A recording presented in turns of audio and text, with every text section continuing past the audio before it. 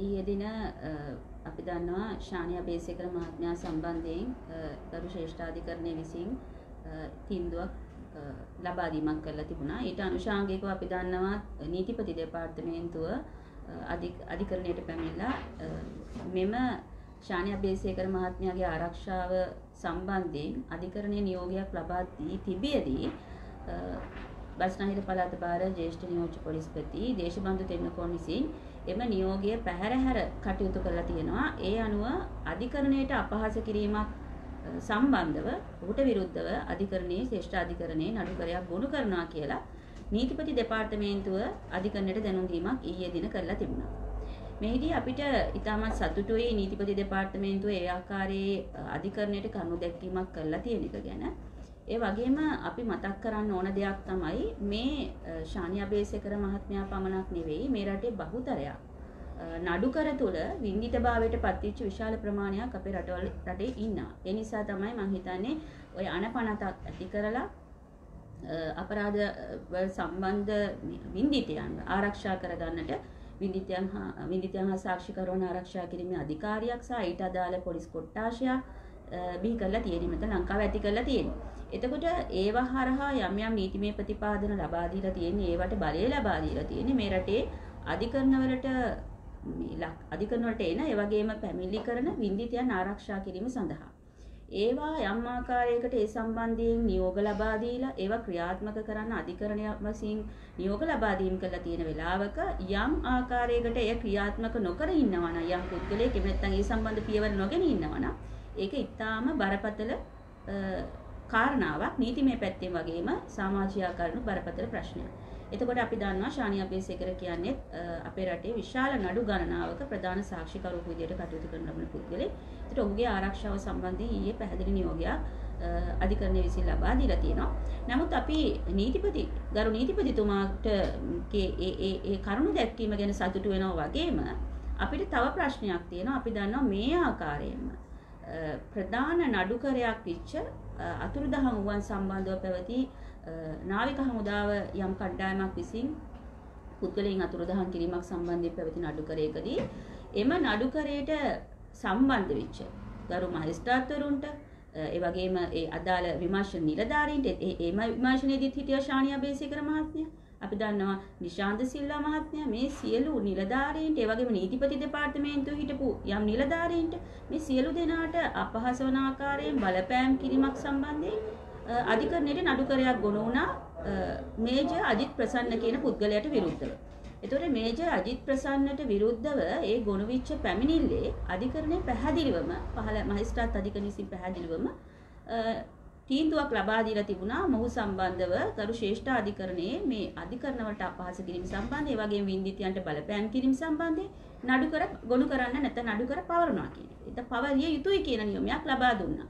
අද වෙනකොටවත් අපි දන්නේ නැහැ නීතිගරු නීතිපති දෙපාර්තමේන්තුවෙන් ඒ සම්බන්ධව අධිකරණයට අපහාස කිරීමක් හරි එහෙම නැත්නම් වින්දිතයන්ට බලපෑම් කිරීම සම්බන්ධයෙන් හරි නඩුකරයක් ගොනු කරලා තියනවාද කියන සම්බන්ධ අපිට ප්‍රශ්නයක් තියෙනවා. අපි දන්නවා ඔහු අභියාචන අධිකරණයේ ඔහු සම්බන්ධව පැලක් ගොනු කරලා අප ලබා ගැනීමේදී වසරක කාලයක් අප ලබා ගැනීමකින් තොරව වසරක කාලයකින් පස්සේ තමයි ඔහුට අප ලැබුණේ. එතකොට එවැනි තත්ත්වයක් තිබියදී මේ වෙනතේ ඔහුට නඩුකරයක් අධිකරණට අපහාස කිරීමට හෝ එහෙම නැත්නම් වින්දිතයන්ට බලපෑම් කිරීම සම්බන්ධයෙන් ගොනු වෙලා තියෙනවද කියන ප්‍රශ්නේ අපිට තියෙනවා. ඒ වගේම මේ වෙලාවේ දේශබන්දු තෙන්නකෝන් මහත්මයාට විරුද්ධව එහෙම නැත්නම් මේ නියෝග ක්‍රියාත්මක නොකිරීම සම්බන්ධයෙන් අධිකරණට අපහාස කිරීමේ නඩුවක් ශ්‍රේෂ්ඨාධිකරණයට ගොනු කරනවා කියලා තියෙනවා නම් ඒක වචනයට පමණක් සීමාව නොවි අපි කැමති මේ රටේ පුරවැසියන් කැමති නීතිය ක්‍රියාත්මක වෙනවා නම් නීතිය ක්‍රියාත්මක වෙලා පෙනෙනවා. මොකද අපි දැක්කේ නෑ මේ ජාජිත් ප්‍රසන්න කියන පුද්ගලයා ඒ කරපු විශාල බලපෑම. ඒ විශාල බලපෑම අගතිය සිද්ධ වුණා ඔය මේ කියන මේ ශානිය බේසිකර මහත්මයාට. ඒ වගේම විවිධාකාරයේ නීතිපති දෙපාර්තමේන්තුවේ නිලධාරීන්ට විනිශ්චයකාරවරුන්ට. හැබැයි මේ වෙනතේ ඒ සම්බන්ධයෙන් පියවරක් අරගෙන නැහැ. අපි ඒ ගැනත් ප්‍රශ්න කරනවා සහ අවධානය යොමු කරනවා. රටේ වින්දිතයන්ට ආරක්ෂාව ඇතුව ඔහුන් ඔහුට බලපෑමක් නැතුව නඩුකරවලට මුණ දෙන්නට හැකියාව තියෙනට එතකොට තමයි රටේ නීතිය ගැන අධිකරණය ගැන සහ අනිකුත් පසුබිම් ගැන තියෙන විශ්වාසය වර්ධනය වෙන්නේ. නැත්නම් රටක නීතිය ඒ වගේ බලපෑම් සහගත තත්ත්වයක් තියෙනවා නම් මම හිතන්නේ වින්දිතයෝ සාක්ෂිකාරෝ දුර්වල වෙනවා. ඔහුන් අධිකරණ වලට එන්න බය වෙනවා. ඔහුන් පැමිණි කරන්න බය වෙනවා. ඒ තුල රටක අනාරක්ෂිත තත්ත්වයක් තමයි සාමාන්‍ය නිර්මාණය වෙන්නේ. මොකද නීතියට මේ බියක් නැතිවීම සහ නීතිය කියන දේ හැල්ලු වීම ඊටාම බරපතල තත්ත්වයක් තමයි රටක් ඇතුළේ වෙන්නේ. නිසා අපි අපි හිතනවා ගරු නීතිපතිතුමා ගරු අධිකරණයට ලබා දුන්න ප්‍රකාශය ඉතාමත්ම සතුටුදායක වෙනවා වගේම අනිකුත් සියලු කාරණා සම්බන්ධයෙන් අනුබද්ධිත සියලු කාරණා සම්බන්ධයෙන් ඔය කියපු ආකාරයේ නීතිඥ ජාජිත් ප්‍රසන්න සම්බන්ධිනුත් මොකද ඒ අපිට අමතක වෙලා නැහැ. මම ඒකයි කිව්වේ. මොකද මේ වින්දිතයන්ට ඒ ඒ දරුවන්ගේ දෙමව්පියන්ට ඒ කිසිම කෙනෙකුට අමතක වෙලා නැහැ ඒ සිදුවීම. අපි බලන් ඉන්නේ මොකක්ද ඒකට සිද්ධ වෙන්නේ කියලා. නිසා අමතක වීමක් නෑ අපිට. අපේ නිසා අවධානය යොමු කරනවා. ඒ සම්බන්ධයෙන්ුත් ගත යුතු පියවර කඩිනමින් ගන්නවද කියන සම්බන්ධයෙන් අපි අවධානය යොමු කරනවා. ඒ වගේම සියලුම සාක්ෂිකරුවන් සියලුම නඩුකරවල සාක්ෂිකරුවන් ආරක්ෂා කරන්නට ඒවා පවර්ලා තියෙන ආයතන සහ ඒ විධිමත් ආයතන ක්‍රියාත්මක විය යුතුයි. ඒ වගේම ඒවා බල ගැන්විය යුතුයි සහ ඒ සම්බන්ධයෙන් හඬක් නැගිය යුතුයි පුරවැසියන් විසින්. ඒ වගේම මිස් අපිට ආරංචි වෙන ඔබතුමී සම්බන්ධයෙන්ුත් ওই විදියම සිද්ධියකදී දැන් නඩුවක් ඒ සම්බන්ධව ඔබතුමීගෙත් නඩුවක් ගිහිල්ලා ඒ ඒ සම්බන්ධයෙන් මේ ළඟදී මොකක් හරි සිදු වුණාද ඔබතුමීටත් ඔය ආරක්ෂාව ඔව් මට මම කරපු නඩුකර එහෙම නැත්නම් මම 2009 වර්ෂයේ ඉඳලා කරපු නඩුකරවලදී ඒ නඩුකරවලට සහභාගී වීම මත විශාල ආකාරයේ බලපෑම් සහ තර්ජන වලට මට මුහුණ දෙන්න සිද්ධ වුණා. දෙදස් නමය වර්ෂයේ ඉඳලා ඒ ඒ දෙදස් නමය වර්ෂයේ ඉඳලා මම දන්නා මට සමාජ මේ සමාජ මාධ්‍ය මගින් ඒ වගේම මගේ පිටිපස්ස විවිධාකාරයේ විද්‍යාංශ කියන නිලධාරීන් මගින් විවිධාකාරයේ තාඩන පීඩන මට විශාල වශයෙන් මට මුණ දෙන්න සිද්ධ වුණා. ඒවා සම්බන්ධයෙන් මම වගකිය යුතු ආයතන වලට පැමිණිලි කරා. ඒ කිසිදු ආයතනයකින් මේ වෙනකොට පියවරක් අරගෙන නැහැ. එනිසා 2020 වර්ෂයේ මම ගරු ශ්‍රේෂ්ඨාධිකරණයට මූලික අයිතිවාසිකම් පෙසමක් ගොනු කරනවා. මගේ අයිතිවාසිකම් කඩවීම තුළ මට සිද්ධ වෙච්ච අතිවිශාල මානසික හිංසනය, ඒ වගේම අනාරක්ෂිත තත්ත්වයක් ඇති කිරීම, ඒ වගේම රටේ නීතිය රැකවරණය මට එකක් මම නීතිඥවරයෙක්.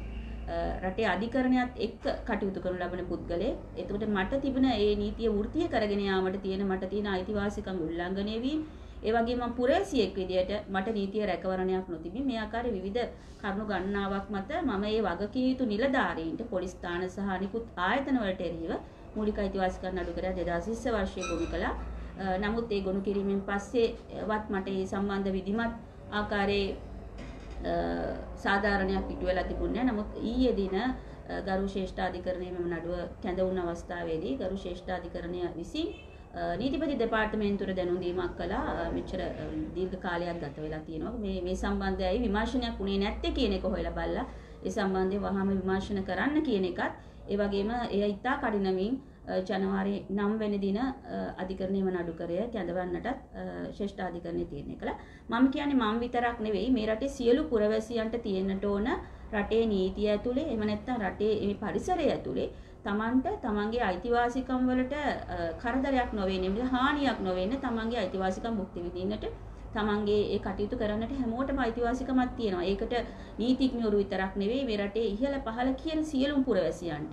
එහෙම එහෙම නැහැ සම්පූර්ණ පුරවැසියන්ට සම්පූර්ණ අයිතිවාසිකමක් තියෙනවා. ඒවා යම් පුද්ගලයෙක් කඩ කරනවා නම් ඒ කඩ කරනවා අනිවාර්යයෙන් මේකේ ඒකේ ඒකේ වගකීම ගන්නට ඕනේ මේ රටේ දේශපාලන අධිකාරී.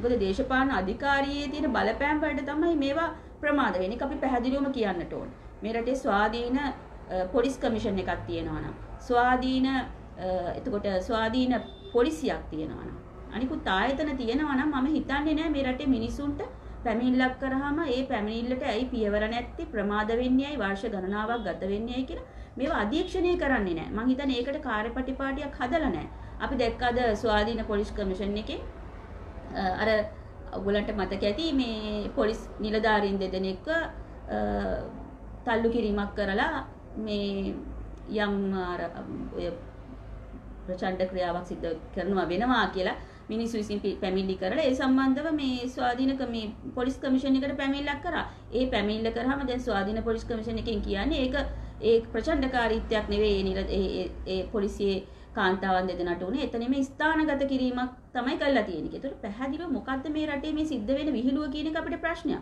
මේ රටේ මහජනතාව බහුතරයක් බලාගෙන හිටිය සිද්ධ වෙන දේවල් අපි දැක්කා. ඒ මාධ්‍ය දර්ශන වලින් අපි දැක්කා ඒ කාන්තාව දෙනවා තල්ලු කරනවා බෙල්ලෙන් අල්ලලා.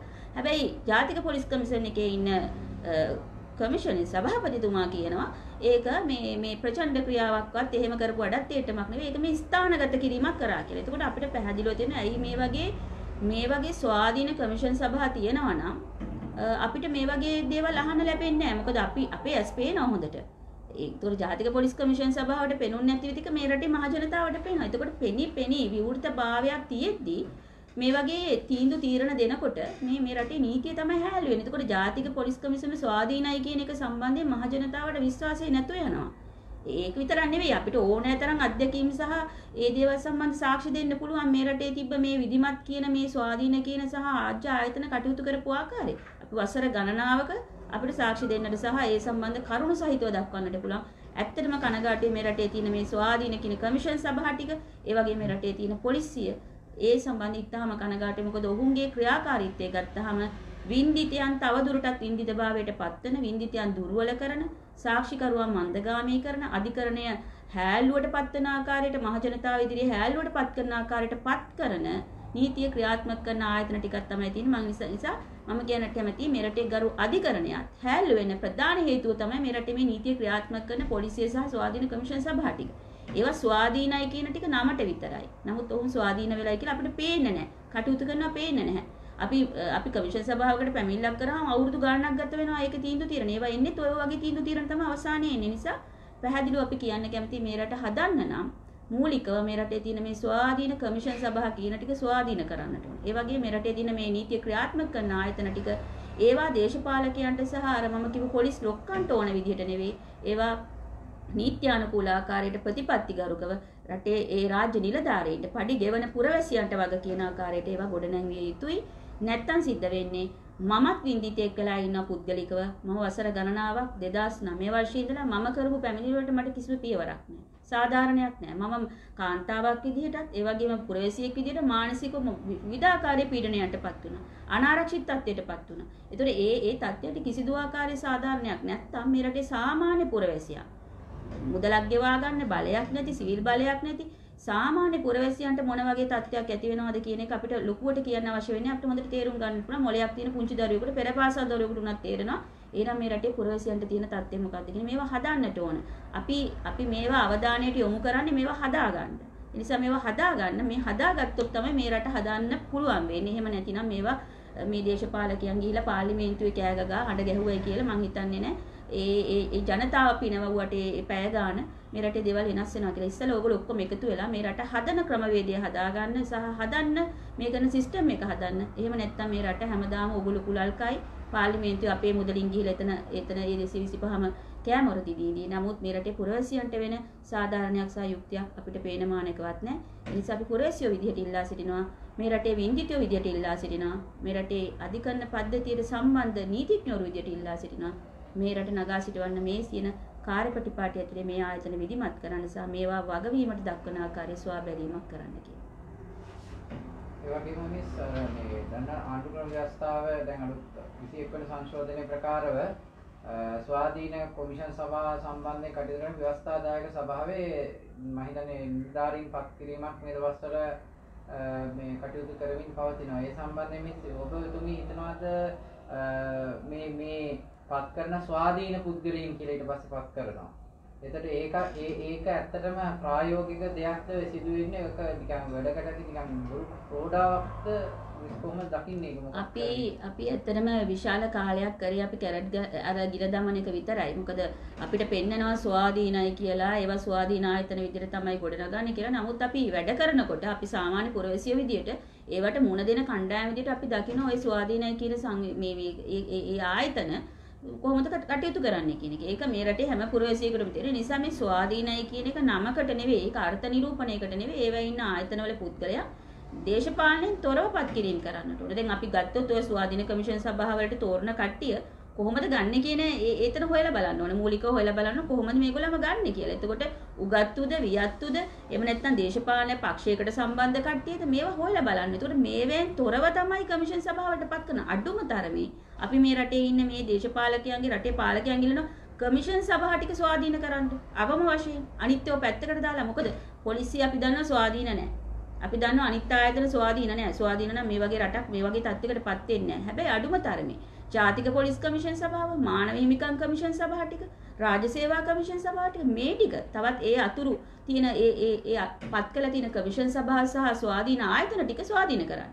ඒව ස්වාධීන කරනවා කියන්නේ මම මේ ස්වාධීන කරලා මේ පුද්ගලෙක් පත් කරනවා කියලා නාමිකව නෙවෙයි කිසිම ඔහුන්ගේ පක්ෂයටවත් එහෙම නැත්නම් වෙනත් පක්ෂයකටවත් සම්බන්ධ නොවන උගත් වියතුන් මේ ලංකාවේ ඕන තරම් ඉන්නවා. ඔහු රට හැරලා යනවා. ඒකයි මේ රටේ අභාග්‍ය සම්පන්නකම. මොකද මේ මිනිස්සුන්ට මේ වියත්කමට උගත්කමට තැනක් නැහැ මේ රටේ. දේශපාලනය තියෙනවා නම් පක්ෂ දේශපාලනය තියෙනවා නම් ඔහුන්ව තමයි මේ මල්ලේ දාගෙන ගිහිල්ලා මේ කමිෂන් සභාව ටිකට හලන්නේ. ඒ නිසා ඇත්ත තත්ත්ව වසන් කරන්න ඕනේ නැහැ. කමිෂන් සභාව තියෙනවා නම් ඒවට පත් කරන විදිහ ඉතාම විධිමත්ව පැහැදිලිව විනිවිදභාවයකින් පත් කරන්න. අන්න එදාට අපි පිළිගන්නා ඒ ස්වාධීන කමිෂන් සභාවලින් දෙන තීන්දුව తీරන ස්වාධීනයි.